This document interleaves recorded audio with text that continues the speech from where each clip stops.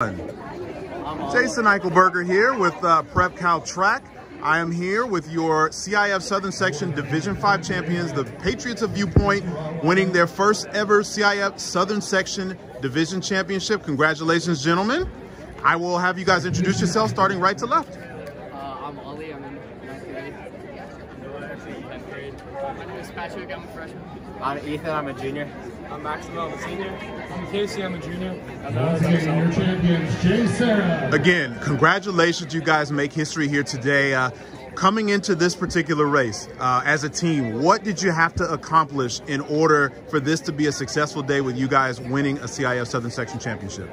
Uh, uh, really for this race, especially this season, we really focused on running close as a team, running a tight pack, uh, and picking people off as a group uh, just to maximize our points for, the mission. Um, and this year we really, really closed uh, our team gap, and I really feel like it helped us uh, move on as a team and just gain points exponentially.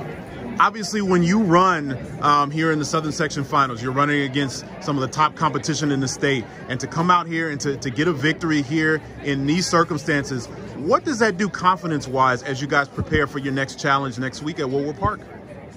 Uh, for us, that's huge because we didn't really know like what kind of competition this would be going into it, and now that like, we're coming home with something like tangible uh, out of it, um, I don't know, it just feels really good. especially a big difference from last year when um, last year we kind of had uh, we had runners all over the place in very very uh, high up places uh, and there's big spread.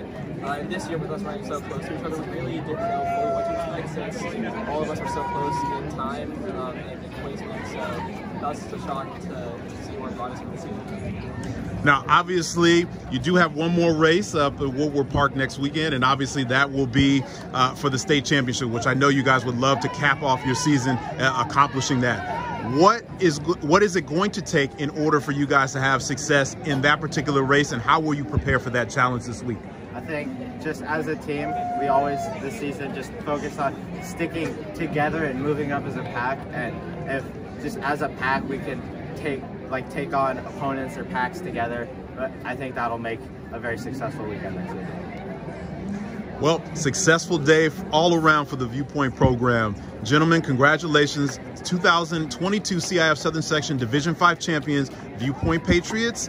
You guys joined the ladies there with the championship. Congratulations so much and good luck next week.